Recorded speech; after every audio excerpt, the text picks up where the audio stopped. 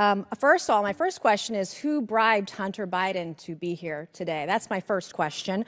Um, second question you are the epitome of white privilege, coming into the Oversight Committee, spitting in our face, ignoring a congressional subpoena to be deposed. What are you afraid of? You have no balls to come up here and. M- Mr. Chairman, point of inquiry.